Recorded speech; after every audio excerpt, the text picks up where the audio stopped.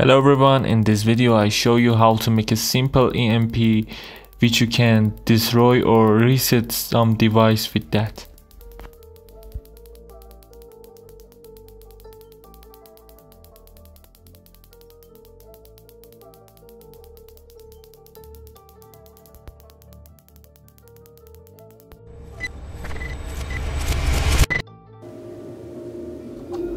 We need wire to make a coil like this one I make it before.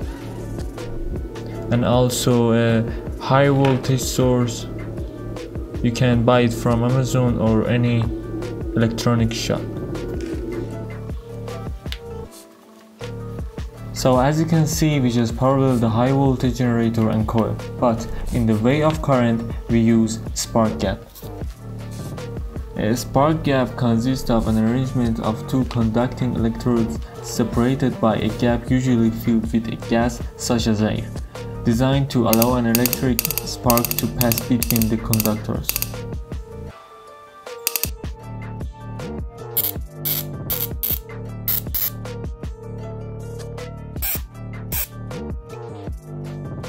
An electromagnetic pulse or EMP also sometimes called a transient electromagnetic disturbance is a short burst of electromagnetic energy.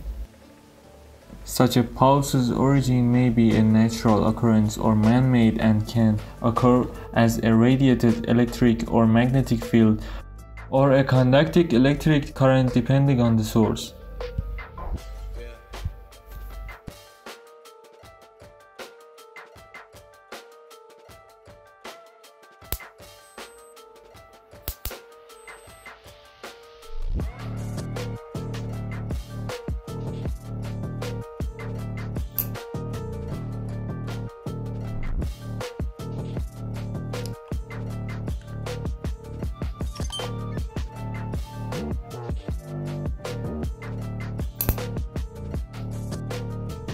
Thanks everyone for watching this video. You can support this channel with subscribe and like and you have any problem just comment for me down below.